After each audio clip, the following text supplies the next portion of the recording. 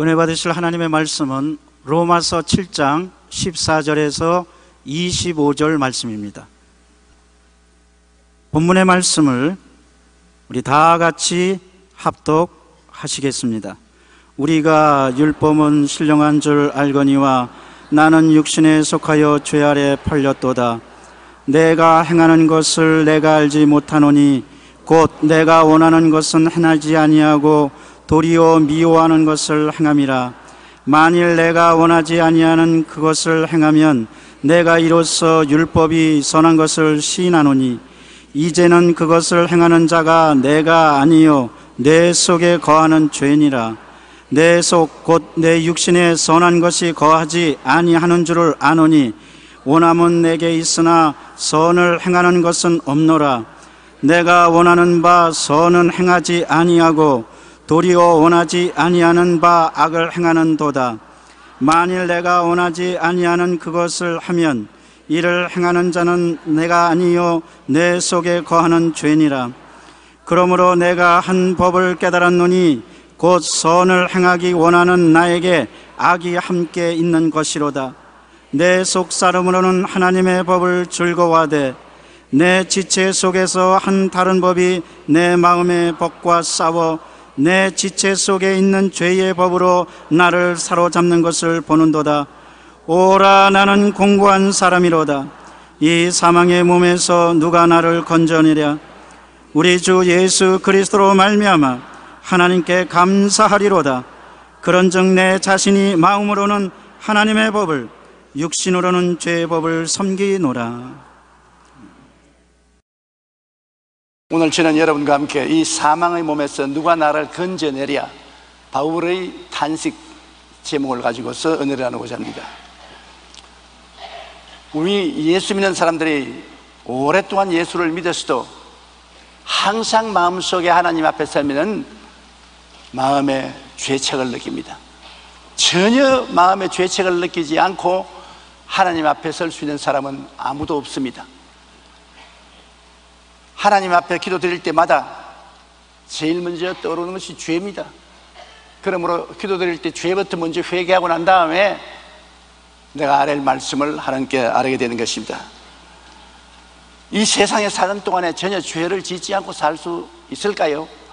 우리의 소원은 죄를 짓지 않고 온전히 의롭게 살 수 있으면 좋겠는데 위대한 사도 바울조차도 오라 나는 곤고한 사람이로다 이 사모의 몸에서 누가 나를 건져내랴 탄식했습니다. 바울조차 탄식을 했으니 우리 같은 쪼무레기야 뭐 탄식하고도 남음이 있습니다. 그런데 우리 신앙을 자세히 살펴보면 우리가 처음 예수 그리스도를 구주로 모시고 십자가의 보혈로 용서받고 구원을 받았을 때 큰 구원의 확신과 기쁨을 마음에 얻게 되는 것입니다. 요한복음 3장 16절의 말씀대로 하나님이 세상을 이처럼 사랑하사 독생자를 주셨으니 누구든지 저를 믿으면 멸망하지 않고 영생을 얻으리라. 누구든지 남녀 노유 빈부 귀천 할 것 없이 예수를 믿으면 멸망하지 않고 영생을 얻는다는 말씀을 우리는 받고 로마서 10장 13절에 누구든지 주의 이름을 부르는 자는 구원을 받으리라는 하나님의 약속을 가지고 있는 것입니다.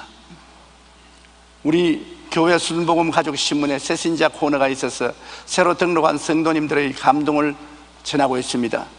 동작대교 김영순 성도님은 타 종교 가정이었는데 노방전도를 통해 우리 교회 예배에 참석하고 하나님을 만났습니다. 처음에는 전도를 외면했지만 몸이 약한 성도님께 유병희 권사님이 꾸준히 전도했습니다. 하나님을 믿으면 구원과 평안을 얻고 무엇보다도 덤으로 건강을 얻게 된다. 그러므로 하나님께 나오면 구원도 평안도 건강도 얻을 수 있으니 교회 나오라고 청했습니다. 김승도님은 교회에 출석한 후 건강이 급속도로 호전되었고 마음에도 평안이 찾아와 밝은 성격을 갖게 되었습니다. 김승도님은 이러한 자신의 변화에 기뻐하며 이렇게 고백했습니다. 이제 저는 성경책과 각종 신앙 서적에 많은 관심이 생겼습니다. 말씀과 기도를 통해 하나님과 더욱 친밀해지고 싶습니다. 김성도님은 육체의 건강과 함께 영적 건강에도 힘쓸 것을 다짐했습니다. 그리고 이웃들에게 내가 예수님 믿어보니 마음이 편안하고 밤에 잠도 잘 오고 참 좋더라. 무엇보다 하나님께서 내 모든 문제를 해결해 주시니 마음에 평안하고 이제 내가 할 일은 기도하고 전도하는 것밖에 없다고 자랑하고 있습니다. 이처럼 많은 사람들이 예수 그리스도의 복음을 믿으면 구원받는 확신을 갖게 되고 말로 표현할 수 없는 마음의 평안과 기쁨을 느끼게 되는 것입니다. 그런데 그것만 있으면 좋은데 내 속 사람은 확신이 있고 기쁜데 내 육체의 사람이 마귀의 유혹을 계속 받는 것입니다. 세상 마귀의 유혹과 육신의 정욕의 공격이 우리에게 끊임없이 다가오는 것입니다. 로마서 7장 15절로 24절 말씀대로 내가 행하는 것을 내가 알지 못하더니 곧 내가 원하는 것은 행하지 아니하고 도리어 미워하는 것을 행함이라. 참말 아닙니까? 우리가 세상에 살면서 내가 원하는 것은 안 하고 내가 싫어하는 것은 행하는 것입니다. 내가 원하는 참말은 안 하고 원치 않는 거짓말은 잘하고 내가 원하는 사랑은 안 하고 원치 않은 미움은 잘 미워하고 자꾸 우리의 삶 속에 그 이러한 타락이 타격이 다가오는 것입니다. 내가 만일 원치 아니하는 그것을 행하면 내가 이로써 율법이 선한 것을 시인하노니 이제는 그것을 행하는 자가 내가 아니요 내 속에 거하는 죄니라. 내 속 곧 내 육신에 선한 것이 거하지 아니한 줄을 아노니 원하면 내게 있으나 선을 행하는 것은 없노라.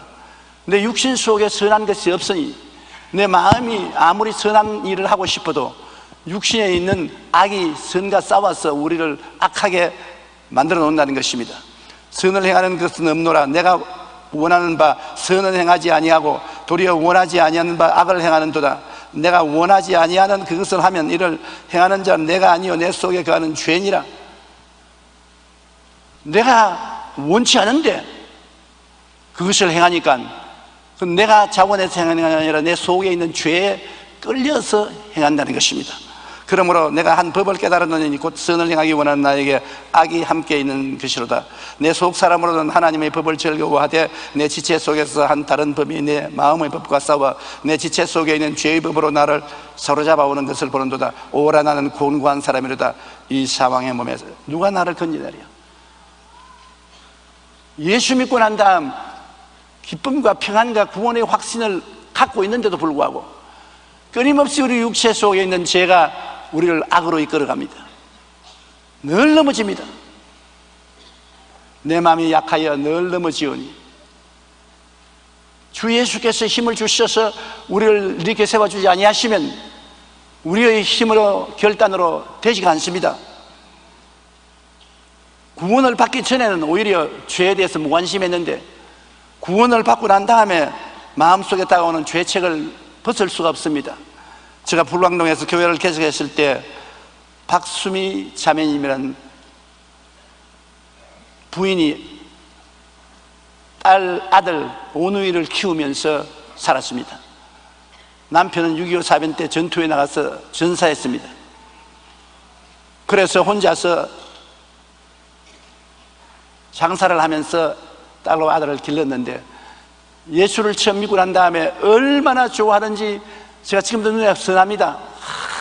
박수를 치고 손을 들고 할렐루야를 하고 정말 구원을 받아 이제 외롭지 않다. 매일같이 밤이면 애들 잠지 않고 울었는데 이제는 예수님이 마음속에 들어와서 울지 않게 되고 행복하게 되었다고. 아 그러던데 얼마간 있다가 제게 아주 마음이 굉장히 괴로운 모습을 가지고 찾아왔어요. 그래요. 아유, 박수미 자매님 어떻게 해서 이렇게 왔습니까? 그러니까 미안하지만은 이제 그만 믿을랍니다. 아니, 여태까지 교회를 잘 나오고 새벽 기도해서 철야 기도, 주일 예배 꼭 나오던 분이 왜 그런 말씀을 하십니까? 내가요, 예수 믿기 전에는 마음이 편했어요. 너, 노방 장사를 하게 되면 거짓말을 많이 해야 됩니다. 싱싱하지도 않은데 싱싱한 물건이라고 하고 비싸게 받으면서 아 싸게 판다 이라고. 남으면서도 나는 하나도 남지 않는다고 이라고. 할 수 없이 거짓말을 매일같이 하면서 장사를 해야 되는데 옛날에는 거짓말을 해도 아무 마음의 고통이 없었어요. 근데 예수님을 믿고 신앙이 깊어질수록 이제는 괴로워 견딜 수가 없어요 거짓말도 이젠 잘 못해요. 더듬거리고. 내 마음에 하나님이 계셔서 도저히 거짓말을 하고 살 수가 없고 정직하게만 살아야 되겠는데 애 둘이를 키우자니까 장사 날 수 없고 장사자니까 거짓말 안 할 수 없으니 교회 가봤자 내 같은 사람은 지옥에 떨어지기 꼭 알맞습니다. 애들 공부 다 시키고 시집 장가 보내고 난 다음 나이 늙어 이제 장사할 수 없을 때 그때 내가 다시 올 테니까 이제 마지막 하직 인사로 왔다고 내가 나콱 붙잡았습니다. 그러면 안 됩니다. 절대로 안 되지요. 왜냐하면 우리 예수 믿는다고 해서 당장 천사가 되는 것 아닙니다. 예수 믿으면 우리 속 사람이 변화를 받고 구원을 얻지 그 사람은 변화를 받고 구원을 받지 않습니다. 그 사람은 우리가 늘 싸워서 이겨야 되는 것입니다. 마귀와 세속은 그 사람을 통해서 우리 속 사람을 흔들어 놓아도 우리가 흔들리면 안 됩니다. 우리가 한꺼번에 천사가 되지 않습니다. 어린아이도 적은 어린 애기를, 갓난 애기로부터 자라는 것처럼 신앙도 적은 신앙에서 점점 자라서 거룩하고 훌륭한 사람이 되지 한꺼번에 그렇게 되지 않습니다. 우리가 믿음으로 구원을 얻고 구원받아 놓았으니까 이제 구원받은 사람처럼 살도록 하나님 성령이 와서 도와주는 것입니다. 그러니까 한, 한 숟가락에 배부르지 않습니다. 그러니까 계속 거짓말 조금씩 하면서 장사하세요. 그 눈이 휘둥그레졌어요. 예? 거짓말 좀 하면서 장사해도 괜찮아요? 원래는 안 괜찮은데 내가 특별히 연락을 해주니까 조금씩 거짓말하고 장사하고 저녁에는 꼭 주님께 회개하고 그리고 주님 이 거짓말 안 하고 장사하게 해달라고 구하십시오. 그럼 하나님 도와주실 것입니다. 그래 얼굴에 웃음이 떠오르더니만 나갔어요. 그 거짓말을 조금씩 하면서 장사를 했어요. 그러나 자꾸 회개를 하고 하나님께 도움을 구하니까 정말로 거짓말을 하고 장사할 수가 없거든. 점점 정직해졌는데 나중에 소문이 꽉 났어요. 박수미 씨 파는 물건은 다 진짜다. 다른 사람은 다 거짓말해도 저 아주머니는 거짓말 안 한다. 참말이다. 그래 해가지고서 참말을 하니까 거짓말 할 때보다 장사가 더 잘 됐습니다. 나중에는 저게 찾아와서 목, 목사님 거짓말 안 해도 장사를 잘하고 살게 되니 희한한 일입니다. 주님께서 나를 도와주십니다. 그래서 우리 교회 구역장이 되고 나중에는 권사까지 되었었습니다. 박수, 김순희 권사 아직 내 마음속에 다 뚜렷이 사라지지 않고 있습니다. 그 아들 딸들 공부 다시 다 시켜서 미국으로 유학까지 보내고 지금 미국에 들어가서 아들 딸들하고 같이 살고 있습니다.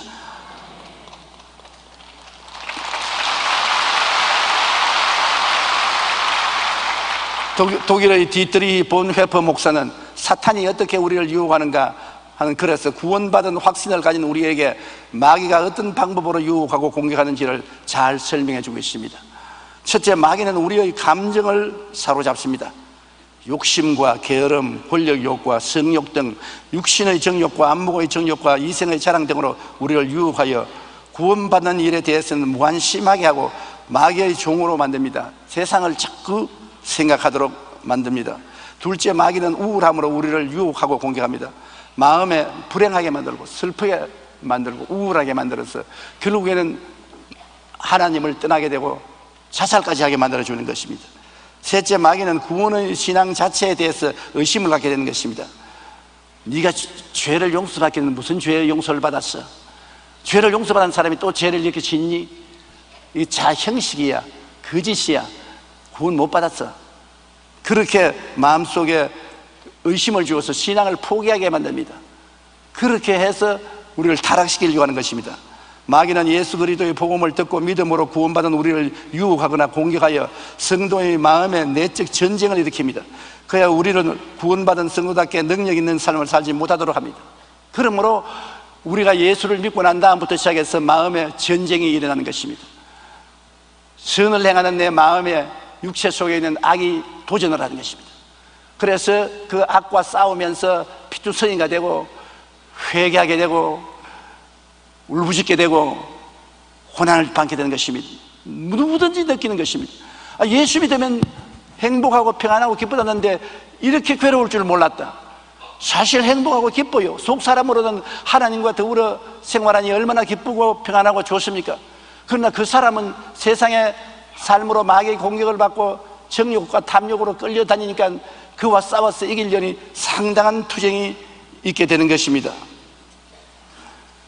우리가 하나 알아야 될 것은 우리의 힘으로 구원이 안 된다는 것입니다. 조금 전에 내가 점심을 먹고 여기 설교하러 올려고 하는데 우리 손녀딸 성현이가 내게 와서 할아버지 왜 카톨릭과 신교가 뭐가 다릅니까? 방대한 질문을 내게 했습니다. 그걸 다 설명하자면 며칠이 걸릴 것인데 간단히 말을 해줘야 돼서 내가 상당히 고민을 하다가 가톨릭과 신교가 다른 것은 신교는 성경 말씀대로 예수를 믿으면 구원받는다는 것인데 가톨릭은 예수도 믿고 좋은 일도 해야 구원을 받는다. 인간의 행위를 보탠다. 그래서 가톨릭은 신교가 다른 것이다. 다른 데가 많이 있지만은 그러면 캐톨릭 믿으면 지옥 갑니까? 지옥은 꼭 간다고 말할 수 없지만은 캐톨릭을 믿으면 선한 행위를 해도 구원을 받는다고 하므로 신앙이 약해지는 사람들이 간혹 있다. 그러므로 신교도 교회 왔다 갔다 하면서 열심히 주를 믿지 아니하면 가짜가 되는 것처럼 가톨릭도 가짜가 될 수 있다. 그러나 다 같이 하나님을 섬기고 예수님을 믿음으로 비평하면 안 된다. 위에서 기도해 주고 함께 협조해서 살아야 된다. 알았습니다. 고맙습니다. 그런데 속으로 알기는 뭘 알았겠나. 내, 내 설명도 옳지 못하는데. 그러나 제가 한 가지 말씀하고 싶은 것은 구원은 하나님이 절대로 공짜로 주는 건 은혜지 우리의 행위가 거기에 보태지는 것 아닙니다. 행위가 보태진다면 구원받을 사람 아무도 없어요. 우리가 성자가 안 되는 이상, 천사가 안 되는 이상 구원받을 사람 아무도 없어요. 밤낮 바울과 같이 오라 나는 공고한 사람이로다 이 사망의 몸에서 누가 나를 건져내랴 탄식만 하고 돌아다닐 따름일 것입니다. 에베소 1장 5절로 7절에 그 기쁘신 뜻대로 우리를 예정하사 예수 그리스도로 말미암아 자기의 아들이 되게 하셨으니 이는 그가 사랑하는 자 안에서 우리에게 그저 주는 바 그의 은혜의 영광을 찬송하게 하려는 것이라. 그저 받았다. 공짜로 받았다.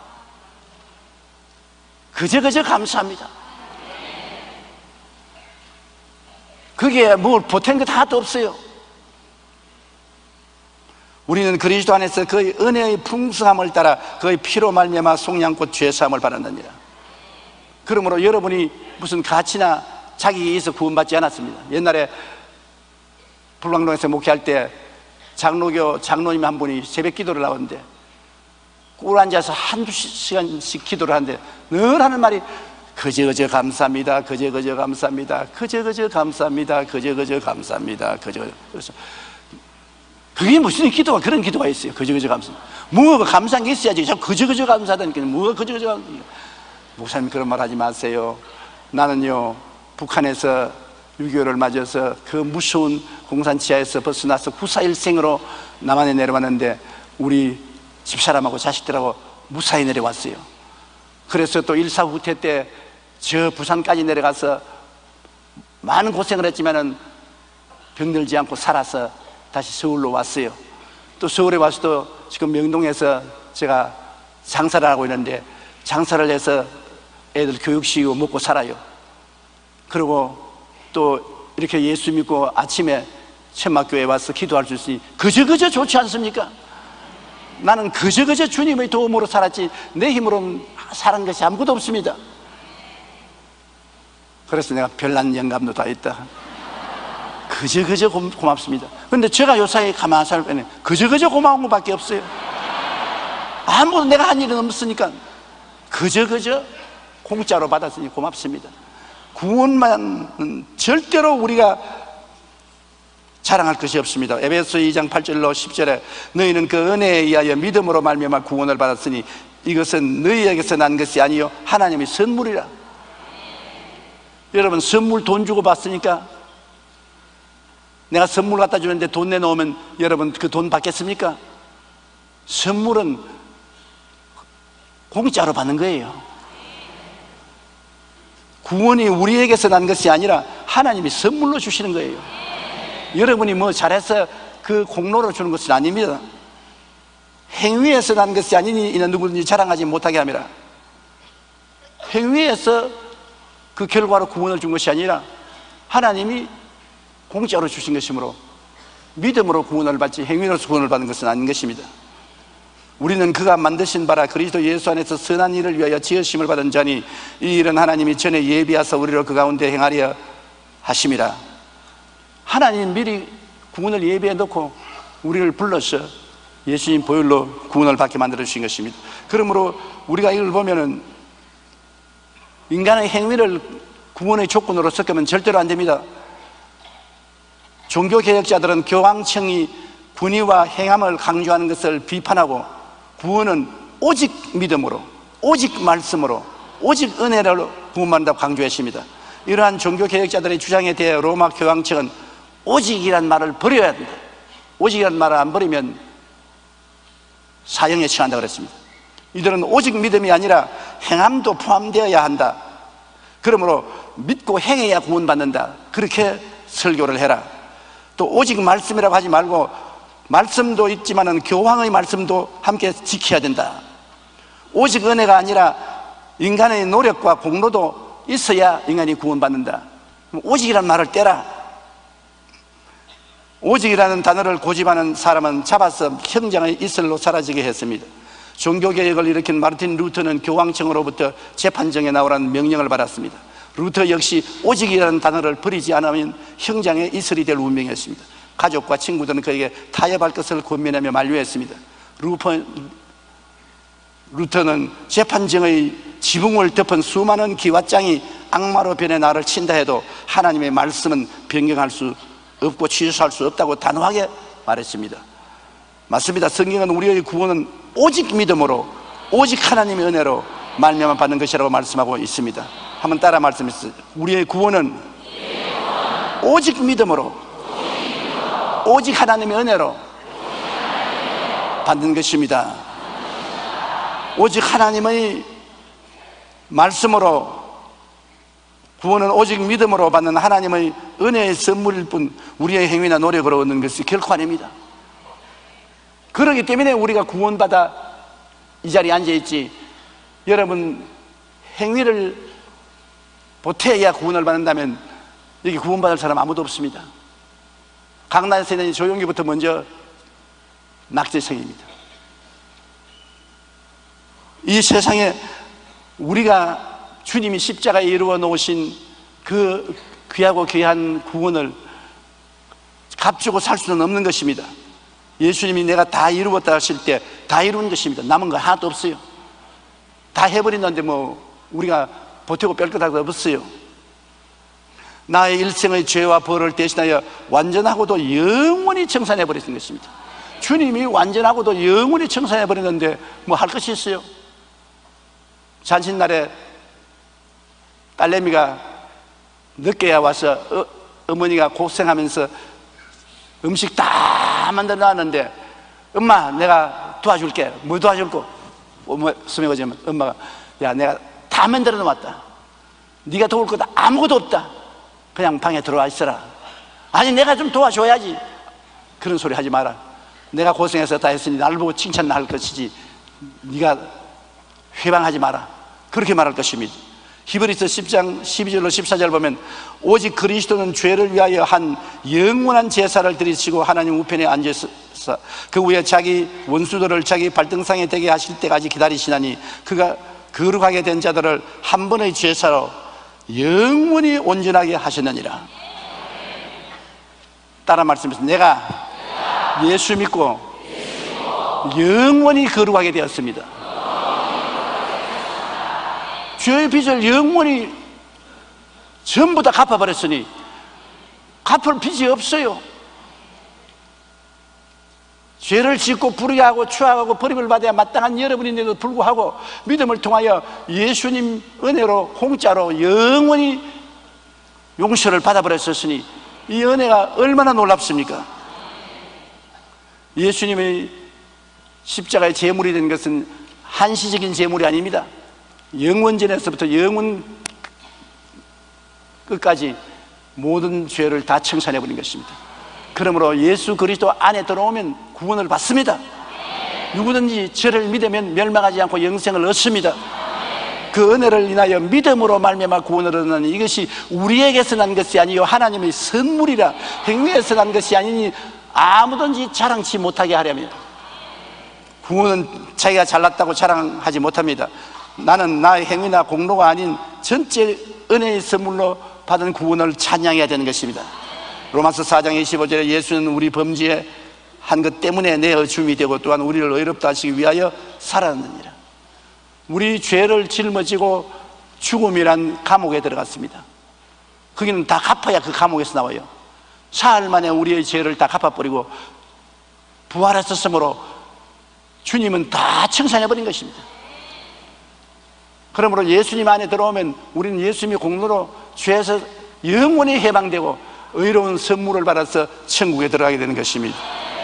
디모데후서 1장 9절에 하나님이 우리를 구원하사 거룩하신 소명으로 부르시면 우리의 행위대로 하심이 아니요 오직 자기의 뜻과 영원 전부터 그리스도 예수 안에서 우리에게 주신 은혜대로 하심이라. 행위대로가 아니고 은혜대로. 그러므로 행위대로 구원을 받는다는 말을 하면 절대로 안 됩니다. 내가 그리스도를 통하여 이미 받은 구원이 성령의 능력으로 나의 삶에 이루어지기 위해서 우리가 싸우는 것입니다. 구원을 이미 받아 놓았는데 이걸 자꾸 빼앗으려고 육체를 통해서 공개에 들어오는 마귀와 정욕과 싸우는 것은 이미 얻어놓은 구원을 우리는 지키기 위해서 싸우는 것입니다. 구원을 얻기 위해서 싸우는 것이 아니라 이미 구원 받았으니 싸우는 것입니다.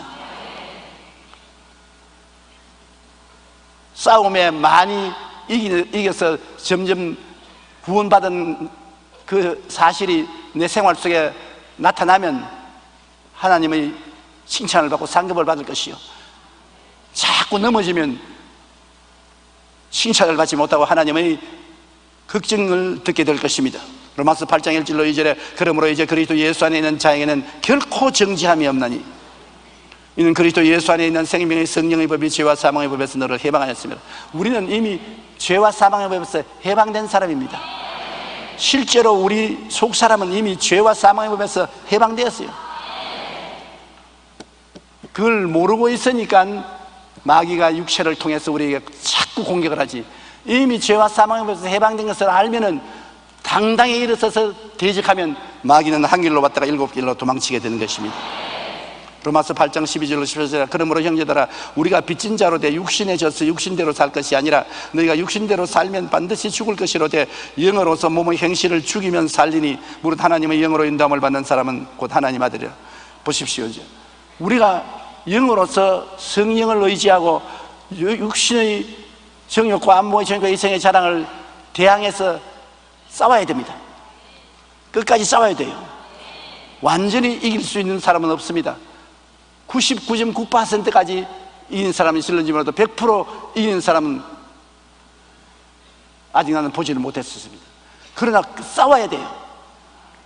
싸우는 사람은 천국 가는 것이나 안 싸우고 그냥 육신이 원하는 대로 끌려가면 그 사람은 구원도 잃어버리게 되고 마는 것입니다. 그리스도 안에서 이미 다 이겨놓은 전쟁을 내가 싸워야 되는 것입니다. 이미 다 이겨놓은 전쟁을 내가 싸워야 돼요. 골로새서 2장 15절에 통치자들과 권세자들을 무려 구하여 드러내어 구경거리로 삼으시고 십자가로 그들을 이기셨느니라. 어린 아기는 태어날 때 이미 일어나 앉고 기고 쓰고 달리게 되어 있습니다. 장애아가 아닌 이상 정상적인 어린 아기는 태어날 때 이미 일어나고 앉고 기고 쓰고 달리게 되어 있습니다. 그걸 사람들에게 가르친다고 되는 것이 아닙니다. 그러나 어린아이가 일어나 앉고 기고 쓰고 달리게 되는 것이 실제로 몸에 이루어질 때까지는 수없이 넘어지고 핥히고 상처를 입고 난 다음에 일어나서 뛰게 되는 것입니다. 여러분 어린애기를 낳아서 길러보셨죠? 응애 하고서 일어나서 뛰는 애기 봤습니까? 어머니 배에서 떨어지자마자 뛰는 애기 봤습니까? 똥 싸고 오줌 싸고 기고 핥히고 넘어지고 무릎이 깨어지고 그러면서도 자꾸 일어나 뛰려고 노력하는 어린애기는 얼마 지 않아 성장해서 일어나 뛰고 나중에는 정상적인 삶을 살 수 있게 되는 것입니다. 우리 신앙도 한 가지인 것입니다. 하나님이 이미 우리가 온전하게 되도록 만들어 놓았는 것입니다. 다 이루어 놓은 것입니다. 그런데 그것이 우리의 생활에 나타나기 위해서는 우리는 많은 실수를 합니다. 많이 넘어지고 많이 자빠지고 자꾸 죄를 짓고 자꾸 회개하고 헐키고 탄식을 하고 그러면서도 발부둥을 치면은 명년은 금년보다 나아지고 내명년은 또 명년보다 나아지고 자꾸 우리는 나아지는 것입니다. 나중에는 주님의 모습을 점점 닮아가는 것입니다. 문제는 이미 구원을 받아 놓았기 때문에 우리가 예수님의 모습을 닮아가야 되는 것입니다.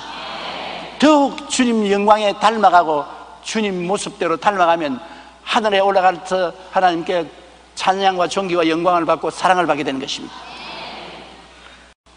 육신의 생각이란 육신을 따르는 자의 생각으로 악하고 죄된 생각을 말합니다.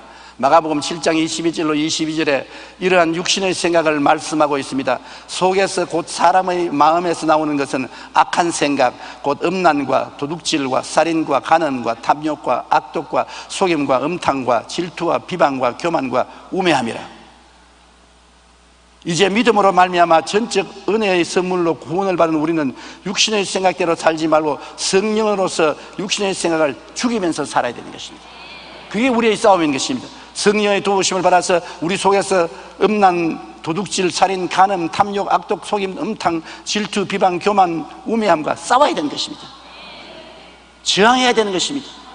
죽은 사람은 저항하지 않지만 산 사람은 저항하는 것입니다. 그래서 성령이 도와주셔서 우리는 성령으로 충만해서 성령의 열매를 맺어야 되는 것입니다. 성령의 열매는 사랑과 희락과 화평과 오래 참음과 자비와 양성과 정성과 온유와 절제인 것입니다. 이것도 한 단번에 맺어지지 않습니다. 기도하고 또 강구하고 넘어지고 자빠지고 또 일어나고 그러면서 점점 맺어 가는 것입니다. 구원은 눈 깜박할 사이에 믿음으로 받지만은 구원이 우리의 생활 속에 이루어지는 데는 이러한 싸움이 필요한 것입니다. 가슴을 치고 오라 나는 공고한 사람이로다 이 사망에 모여서 누가 나를 건져내려 아유 내 같은 사람이 무슨 교회 나가겠노 교회 나와서 찬송 잘 부르고 기도 잘하고 난 다음에 집에 와서는 또 화내고 신경질 지고 이게 무슨 신자냐? 신자입니다. 속에는 구원받았기 때문에 그런 싸움이 있는 것입니다. 구원만 받는 사람은 그런 싸움이 없습니다. 죄가 지어도, 죄를 지어도 편안합니다. 그러나 구원을 받았기 때문에 속 사람이 변화되었기 때문에 그 사람의 공격을 해오면 거기에 상처를 입게 되고 싸움을 하는데 고난을 받게 되는 것입니다. 예수를 믿어 은혜로 구원받은 이후에 육신과 성령의 치열한 싸움이 우리 속에 시작되는 것입니다. 우리가 이 싸움에서 승리하기 위하여 우리는 성령으로 충만하여 성령의 능력으로 무장하기 위해서 기도를 많이 해야 되는 것입니다. 텍사스에 사는 예인스라는 농부는 정부의 은행으로부터 큰 돈을 빌려서 거대한 농장을 건설하고 살았습니다. 그런데 1929년 미국 경제의 중추인 뉴욕의 월가로부터 시작된 경제 대공황으로 은행의 이자가 갑자기 높아졌습니다. 예인스는 높은 이자를 도저히 감당할 수 없어서 파산의 위기에 처했습니다. 그런데 마침 석유 탐사대가 예인스의 농장을 지나가다가 그 밑에 어마어마한 석유가 매장되어 있다는 사실을 알게 되었습니다. 곧 개발하여 퍼올린 석유가 8만 드람이 넘었었습니다. 예인스는 자신이 거대한 부자라는 것을 그동안 모르고 살았던 것입니다. 자기가 있는 농장에 밑에 8만 드람도 넘는 석유가 매장되어 있었어요. 그 석유만 팔아도 평생 먹고 남으면 있고 거대한 부자인데 그걸 모르니까 농사에 빚이 져서 파산하려고 했던 것입니다. 몰랐을 우리도 그와 같은 것입니다. 우리 속에 보혜사 성령이라는 거대한 하나님의 영광이 들어와 있는 것입니다. 구원받은 우리 영혼과 더불어서 우리를 주님의 뜻대로 살게 하는 그 위대한 힘이 들어와 있는데 성령이 들어와 계신 것을 모르고 우리 힘으로 신앙생활을 하다가 넘어지고 안 되니까 나는 저는 갈 수 없겠다. 난 낙심하고 말겠다. 포기하고 마는 것입니다. 그렇지 않아요. 여러분은 어마어마한 능력을 속에 가지고 있는 것입니다. 성령이 여러분과 같이 계신 것입니다. 우리가 안 믿는 사람하고 무엇이 다릅니까? 안 믿는 사람은 속에 성령이 없습니다. 마귀와 세상만 들어와 있는 것입니다. 죄를 지어도 아무렇지도 않습니다. 그러나 우리는 성령이 들어와 있어요. 엄청난 하나님의 능력이 들어와 있는 것입니다. 성령과 더불어 삶으로 죄가 들어오면 죄와 싸우게 되고 마귀와 싸우게 되고 세상과 싸우게 되고 우리는 그리스도의 모습을 닮아가게 되는 것입니다. 그러므로 여러분 낙심하면 안 되는 것입니다. 우리도 우리의 실상을 바로 알아야 됩니다. 우리가 믿음으로 구원받아 하나님의 자녀가 된 후에는 아무리 우리 마음과 삶에서 육신의 육신과 성령의 격렬한 싸움을 한다고 하여도 우리는 그리스도 안에서 이미 다 이겨놓은 전쟁에서 싸우고 있다는 것을 알아야 하는 것입니다. 이제부터 구원은 우리 예수님 안에서 성령님의 능력으로 그 어떤 싸움도 능히 이길 수 있다는 강하고 담대한 마음과 믿음을 가지고 앞으로 나가야 되는 것입니다. 그러면 우리는 어떻게 싸워야 됩니까? 싸울 수 있는 무기가 있습니까? 에베소 6장 18절로 18절에 그런즉 서서 진리로 너희 허리띠를 띠고 의의 호심경을 붙이고 평안의 복음이 준비한 것으로 신을 신고 모든 것 위에 믿음의 방패를 가지고 이로써 능히 약한 자의 모든 불화살을 소멸하고 구원의 투구와 성령의 검고 하나님의 말씀을 가지라 모든 기도와 간구로 하되 항상 성령 안에서 기도하고 이를 위하여 깨어 구하기를 항상 힘쓰며 여러 성도를 위하여 구하라 이제 우리가 매일매일 생활하는데 서도 바울 선생은 로마 군인들의 무장을 그대로 하나님 말씀을 설명하는 데 사용하고 있는 것입니다. 옛날에 로마 시대에 군인들이 무장하고 있던 그 무장을 가지고서 하나님 말씀을 설명하고 있는 것입니다. 진리로 허리띠를 띠라. 이 허리가 우리 몸의 중심인 것입니다. 허리를 다치면 꼼짝 못해요. 허리를 다치면 노동도 못해요. 사무도 보기 못해요. 허리가 튼튼해야 몸이 건강한 것입니다. 그러므로 백가죽이 허리에 붙으면 아무것도 못해요. 제가 부흥회를 많이 인도했기 때문에 아는데요. 뭐, 이 정도의 군중이 따라오면 호함 칠 필요 없어요. 잔잔히 말해도 되는데, 군중이 10만 명, 20만 명, 50만 명, 100만 명이 모여 있으면 내 있는 대로 호함을 쳐야 되는 것입니다. 그러면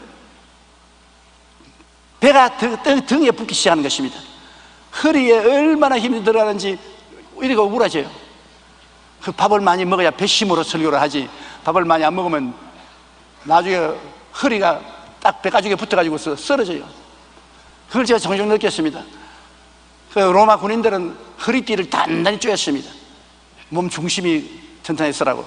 그러므로 우리가 진리의 말씀으로 허리띠를 잡아야 되는 것은 우리의 힘은 성경 말씀에서 나오는 것입니다. 말씀에 서야지 말씀 밖에 서면 안 되는 것입니다. 하나님의 말씀은 살았고 운동력이 있기 때문에 말씀에 서야 되는 것입니다. 시편 119편 105절에 주의 말씀은 내 발의 등이요 내 길의 빛인 것입니다. 미국 사우스 다코다주에 있는 러시모 산에는 미국 역사상 가장 훌륭했던 네 명의 대통령 얼굴이 새겨져 있습니다. 독립전쟁을 이끈 근구의 아버지 조지 워싱턴, 독립선언서를 기초하고 광대한 미 대륙의 기초를 일군 토마스 제퍼슨, 노예 해방으로 자유와 인권의 메시지를 세계 전파한 아브라함 링컨, 오늘날 미국을 세계의 중심국가로 융성하게 한 시어도르 루즈벨트입니다. 이들의 공통점은 모두 하나님의 말씀을 생활 이념으로 살았다는 것입니다.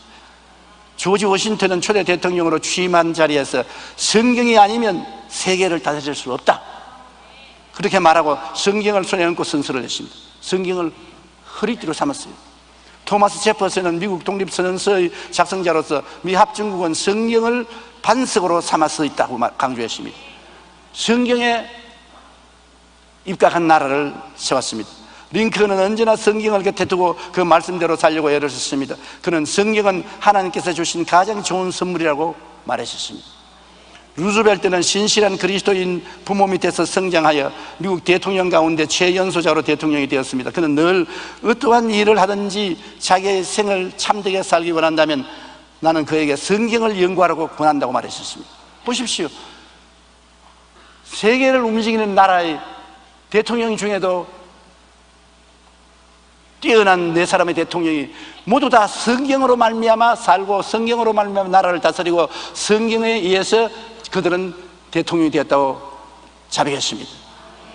성경을 우리의 힘으로 삼아야 되는 것입니다. 인간의 지혜나 총명이나 모략이나 재능을 힘으로 삼으면 안 되는데 우리가 학교 공부를 많이 못해서도 집안이 훌륭하지 못해도 성경을 허리에 감으면 장사가 되는 것입니다.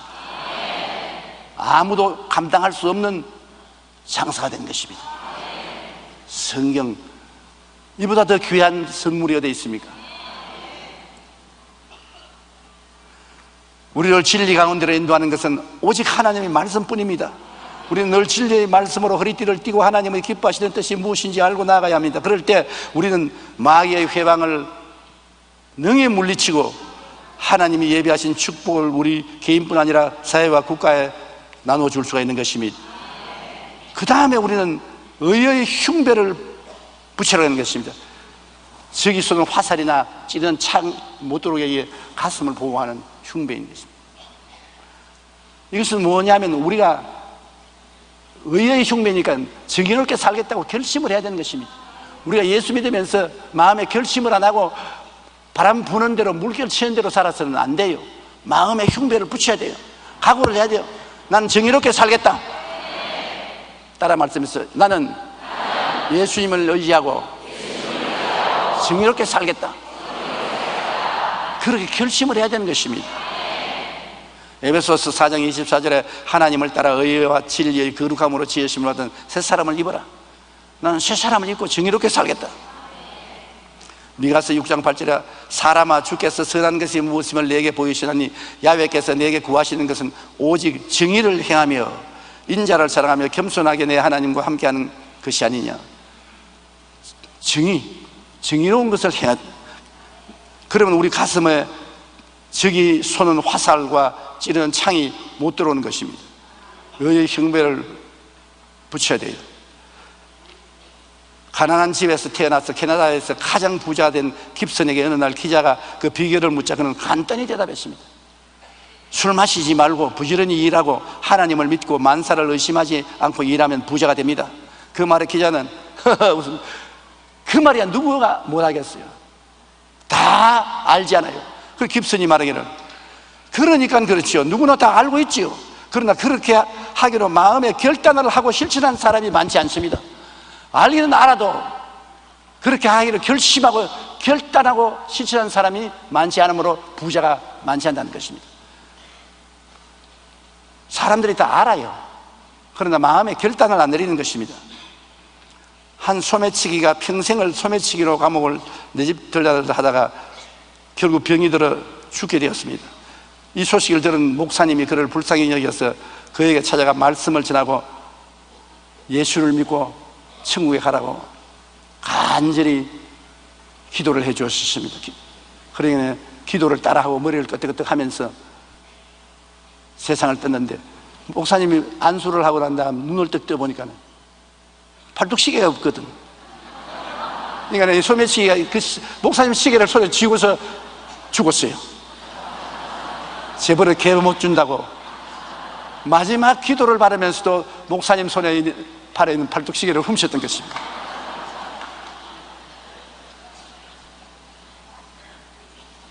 우리의 탐욕과 제약을 끊어버리려 마음을 가지고 정의롭게 살겠다는 단호한 결심을 하지 않고 결국 죄의 노예가 될 뿐 인간이 우유부단한 가운데서 벗어나지 못합니다.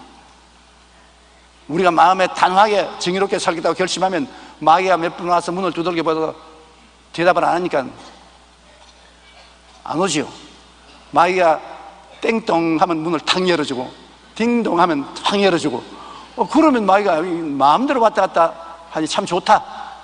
그래서 친구가 되어버리고 세상적인 사람이 되고 마는 것입니다. 우리는 항상 우리의 가슴에 의의 흉배를 붙이고 의롭고 정의롭게 살겠다는 단호한 결심을 해야 되는 것입니다. 넘어지더라도 일어나서 결심을 해야 되는 것입니다. 그 다음에 평안의 예비한 신발을 신어라. 우리 신앙생활이라는 것은 주님께서 우리 평안히 살도록 만들어 놓은 것입니다. 신발은 신고 가면 편안하게 걸어갈 수 있는 것이 신발인 것입니다.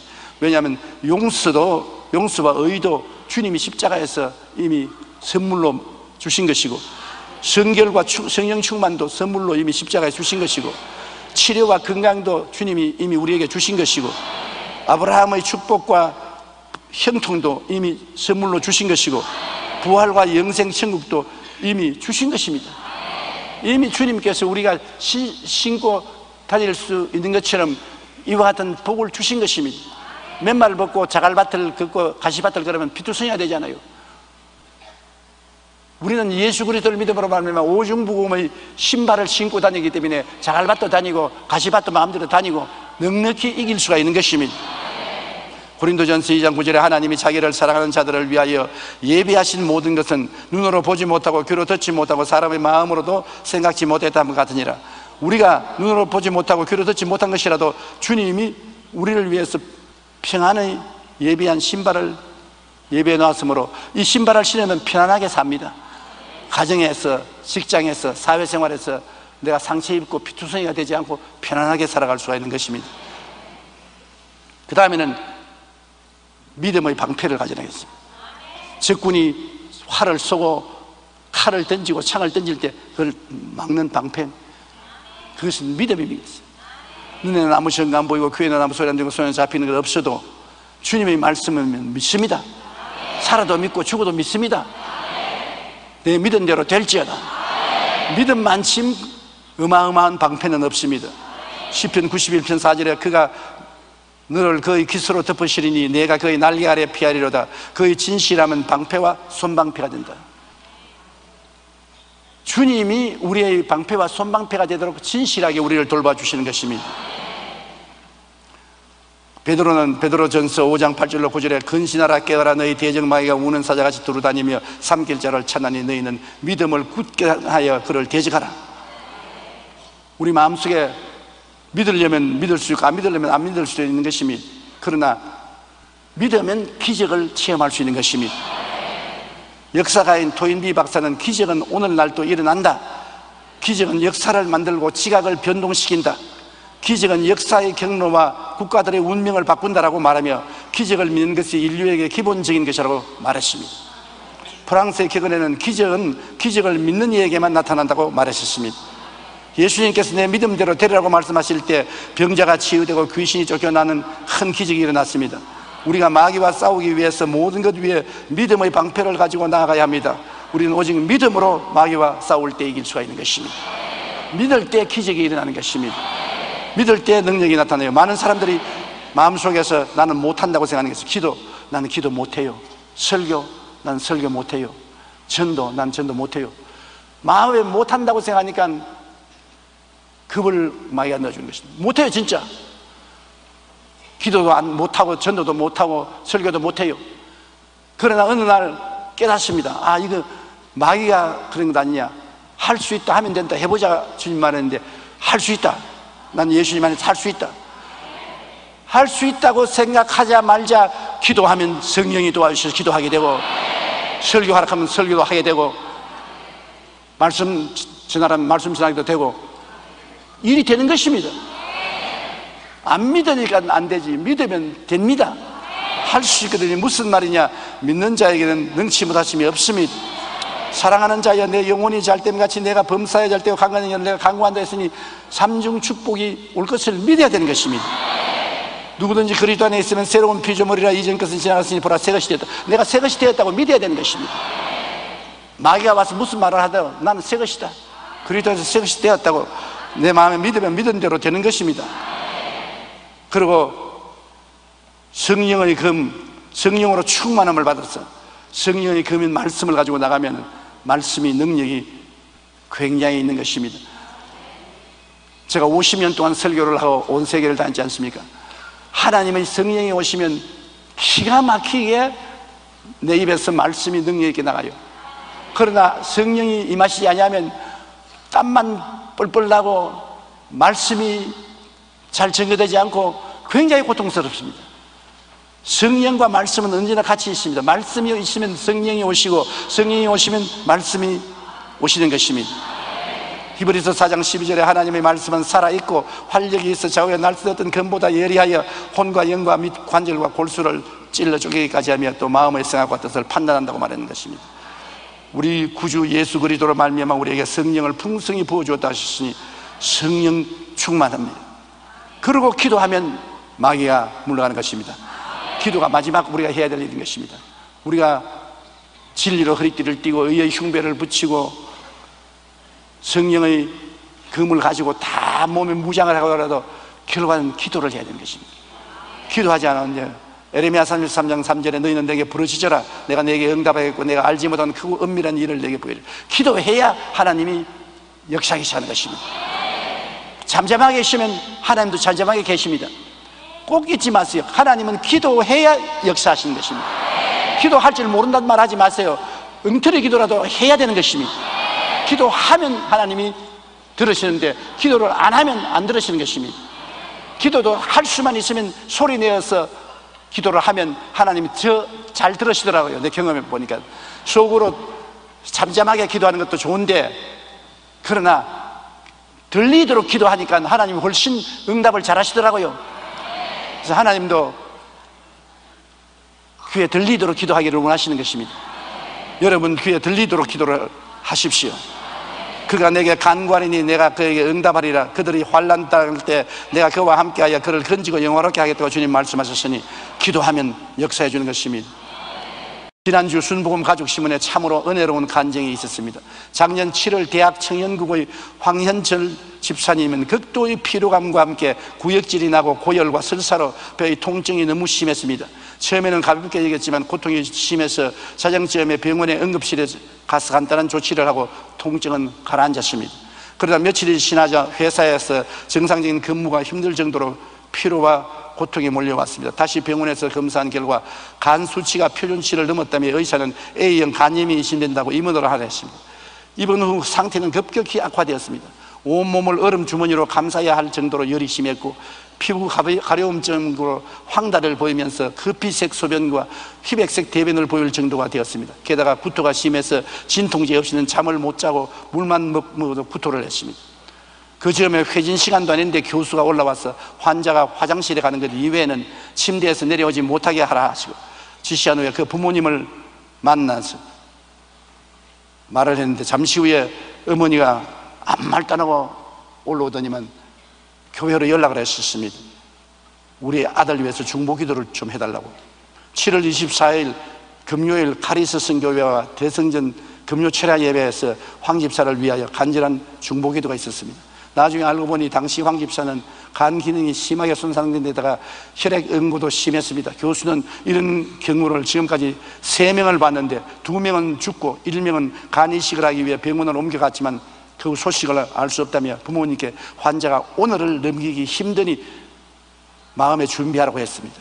그리고 만일의 사태를 위해서 간 이식을 위한 준비를 해야 한다고 말했던 것입니다. 그런데 황 집사를 위한 중보 기도가 있던 금요 철야 이후부터 상태가 갑자기 호전되기 시작한 것입니다. 더욱이 이러한 상황에서 회복되기까지는 최소 6개월에서 1년가량 시간이 필요했는데 황 집사는 급격히 호전되어 일주일 만에 퇴원을 허락받고 퇴원할 수 있었던 것입니다. 퇴원하는데 의사도 따라오면서 오히려 의사가 감사하다고 자꾸 허리를 굽히고 인사를 합니다. 자기가 맡은 환자가 안 죽고 살아가니까 고맙다고. 황 집사는 자신이 치사율이 높은 급성 간 부정증에 회복된 것을 중보기도의 힘이라고 주님이 살아 역사하신다는 증거라고 고백했습니다. 그는 현재 대학 청년국 카리스 선교회 회장을 맡아 건강한 모습으로 열심히 봉사하고 있습니다. 우리가 열심히 신앙생활을 하고 봉사를 할 때도 마귀는 호시탐탐 우리를 멸하기 위해서 유혹하고 대적하고 다가오는 것입니다. 이럴 때 여러분 싸울 무기는 오직 기도뿐인 것입니다. 우리는 하나님의 전신갑주로 무장하고 성령님의 도우심을 받아 기도로 싸워 이겨야 됩니다. 또한 하나님을 우리의 돕는 자로 모셨으면 기도를 해야 되는 것입니다. 기도의 힘은 놀랍습니다. 나가 내 문제가 해결될 뿐 아니라 내 이웃의 문제가 해결되는 것입니다. 구원을 받고 성령을 모신 성도가 이 세상에서 마귀와 정욕의 유혹을 이기고 살아가는 데는 많은 투쟁이 필요합니다. 항상 성령님의 도우심을 받으십시오. 여러분의 마음속에 엄청난 석유가 매장되어 있습니다. 성령의 석유가 매장되어 있습니다. 성령님을 인정하고 환영하고 모시도록 의지하십시오. 성령께 부탁하십시오. 낙심하지 마십시오. 하루아침에 성자가 안 됩니다. 예수 믿었다고 해서 당장 거룩한 사람이 되는 것은 아닙니다. 하나님의 은혜로 구원은 받아놓고 이제 성자가 되는 싸움이 시작되는 것입니다.